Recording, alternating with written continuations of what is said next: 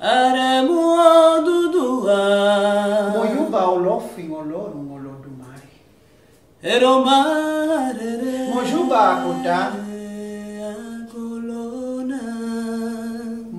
todo bobo ego.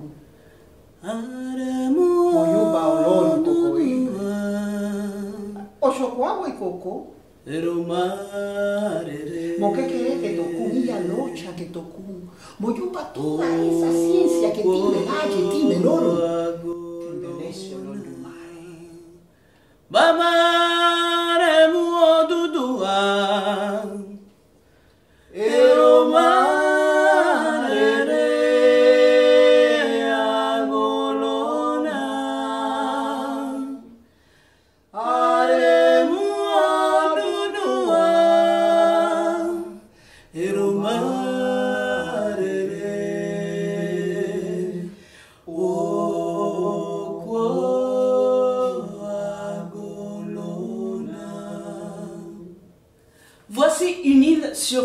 L'océan, allongée dans les eaux turquoises comme un long crocodile vert. Une île faite de plaines et de montagnes, des champs clairs, des plages blondes, des forêts à la végétation luxuriante, à la faune innocente. Chaleur, Lumière, odeur, saveur, sous le ciel tropical. Voici un peuple dont la peau couvre tous les champs de nuances, du noir au blanc en passant par le brun. Pain d'épices, Caramel, cuivre, miel. cannelle. Au son des aborigènes est venu se mêler celui des conquistadors espagnols. ainsi que celui des esclaves africains, C'est dans ce riche terreau que les conteurs à travers la mémoire des ancêtres. puisent la sève de leurs récits.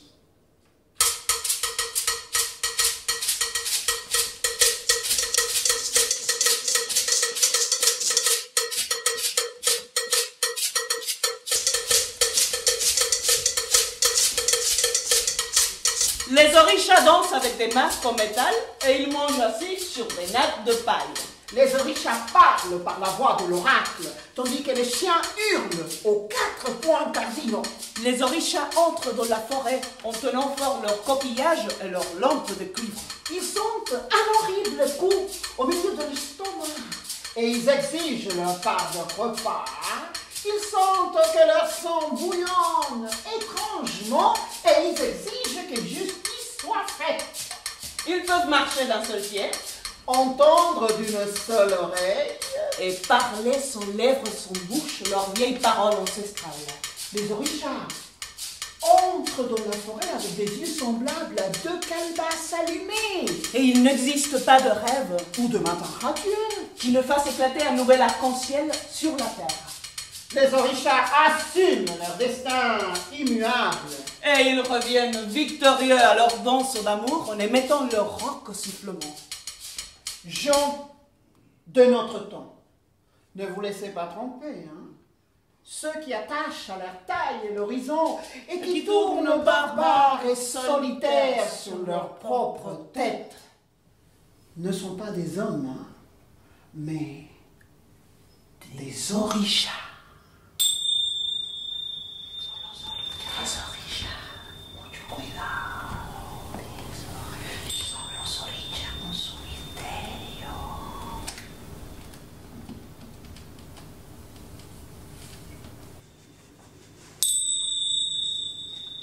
En el principio no había nada de nada.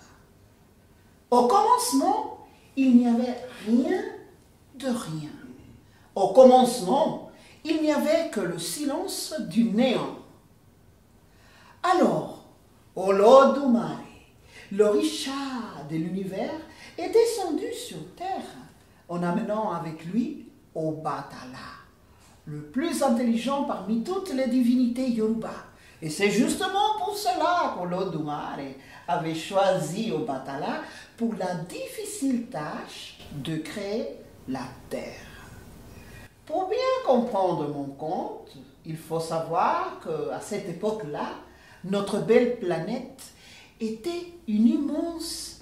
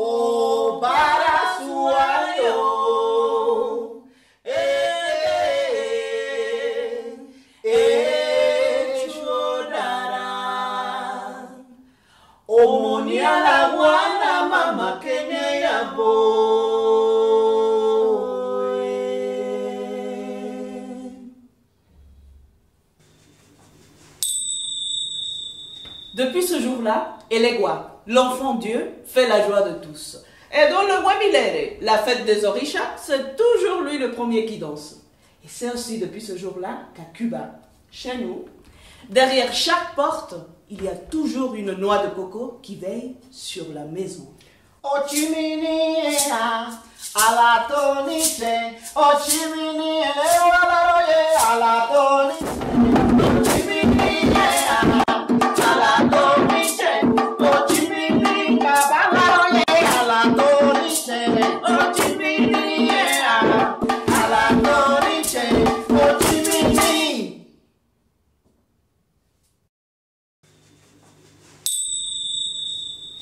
Il y a très longtemps de cela, sur l'île de Cuba, quelque chose euh, d'incroyable, quelque chose de très étrange, quelque chose d'insolite est arrivé.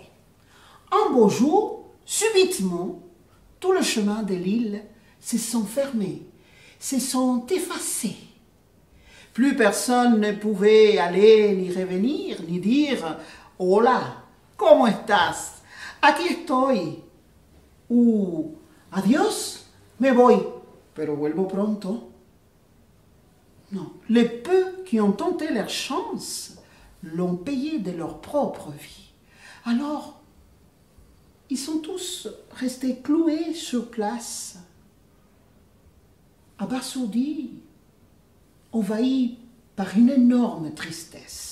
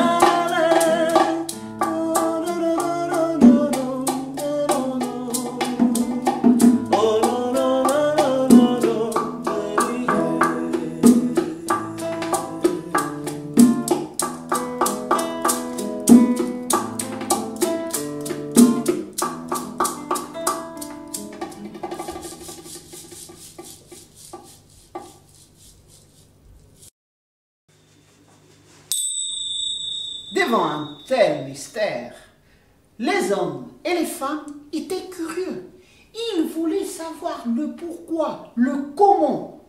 Et ils sont allés demander au livre de sagesse ancestrale, le livre sacré, le livre des femmes.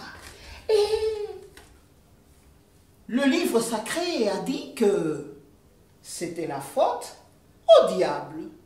Un diable cubain, un diable à l'œil rouge, à la bouche édentée, aux pattes poilues et bien cambrées. Un diable à la bave pendante. Et rien que pour s'amuser, ce diable-là avait effacé tous les chemins des Cuba, depuis les moindres petits sentiers à la campagne jusqu'aux grandes avenues à la capitale. Au centre même de l'île de Cuba, il y avait une vieille plantation de café abandonnée. Et dans cette plantation de café abandonnée habitait couple marié depuis des années. Mais ils n'avaient point d'enfants et ils avaient même perdu espoir d'en avoir. Et il se trouve que ce jour-là, au même instant où le diable a effacé tous les chemins de l'île de Cuba, la femme a senti qu'elle avait un trésor dans son ventre. Mais ce que tu ne sais pas, et ce que vous ne savez pas, et que moi je sais parce que je suis la conteuse, et comme je suis une conteuse généreuse, je vais vous le raconter, c'est que cette femme n'avait pas un, mais deux trésors dans son ventre. Gemelos, jimaguas, des jumeaux. ¡Ay, qué alegría, qué alegría, qué alegría, alegría! El padre y la madre estaban locos de contentos. Et ils ont soigné ce ventre, cette grossesse, comme la prunelle de leurs yeux. Au bout de neuf mois, les enfants sont venus au monde. C'était deux petits garçons. Ils étaient beaux comme le soleil et la lune réunis. Ils étaient identiques comme deux graines de café. Bon, identiques physiquement, hein, parce qu'au niveau caractère, ils étaient très, très, très différents. Le premier à sortir du ventre de sa mère était rieur et glouton. Et comme il était tout doux, on a décidé de l'appeler Taewo. Tandis que le deuxième à sortir du ventre de sa mère était pleureur, ronfogné. Et celui-là, on a décidé de l'appeler Kainde. Mais Kainde et allaient toujours ensemble. Ces deux frères ont grandi dans une belle complicité. Et en plus, en plus, ils ont hérité des ancêtres inconnus un talent très particulier, un talent pour la musique, et tout comme Michel, plus précisément pour la percussion. Il tapait sur tout ce qui bougeait, il tapait sur des tables, sur de petits cabots, sur des chaises, même sur les fesses de leur maman. Et lorsqu'il se mettait à jouer, il se passait quelque chose de magique. Personne ne pouvait arrêter de danser. Alors, le père, pour faire plaisir à ses enfants, a construit pour eux un instrument de musique euh, très particulier. Un instrument de musique que vous pouvez voir ici, avec une partie un peu plus grande qui a un son un peu plus profond. Ça va faire plaisir aux femmes. Ça, c'est la femelle, c'est comme ça qu'on l'appelle. Et on entend parler.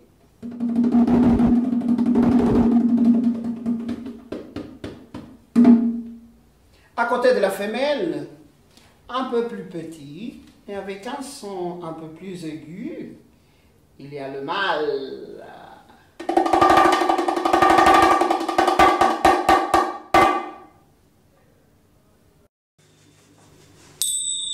Et devant tout,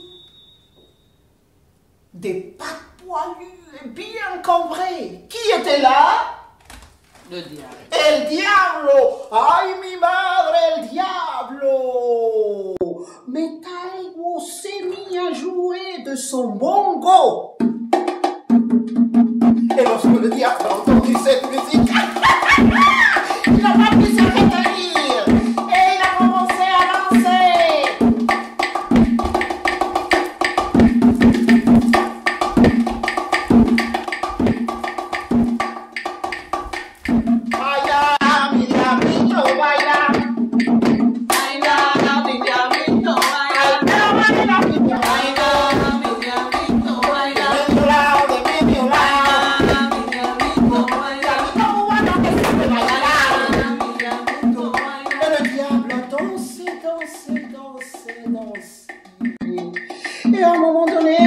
il était trempé en sueur. Et ses pattes poilues et cambrées ne les soutenaient plus. Il était épuisé par tant de. Il a imploré, imploré. Taïwo de s'arrêter. Arrête-toi, Sagama.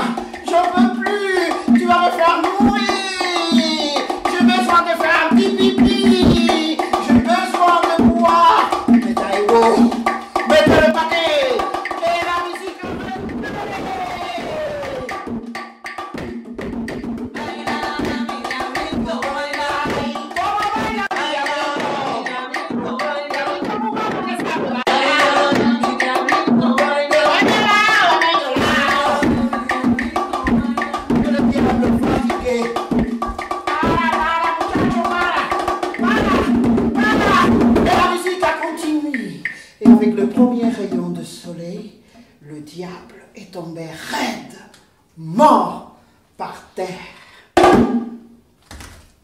À ce moment-là, devant les yeux écarquillés des Taïwo et Kainde, les chemins ont commencé à réapparaître, à se redessiner tels qu'ils avaient été auparavant. C'est comme ça que ce cauchemar s'est terminé. Depuis ce jour-là, chez nous, à Cuba, à chaque fois qu'une femme enfante des jumeaux ou des jumelles, ils sont accueillis dans la famille, dans le quartier, comme un signe de bonheur. Actuellement, mon peuple, comme beaucoup de peuples dans la planète, émigre. Il y a beaucoup d'hommes et de femmes qui quittent l'île de Cuba et qui s'en vont loin, dans d'autres contrées, à la recherche d'une meilleure vie. Et pour tout ce monde qui part, parfois dans des avions, parfois dans des barques de fortune, on prie et les rois, les maîtres de chemin, pour qu'ils les accompagnent, pour qu'ils les protègent, pour que partir ne soit plus jamais mourir, et pour que le chemin de l'île de Cuba reste ouvert à tous et à tout jamais.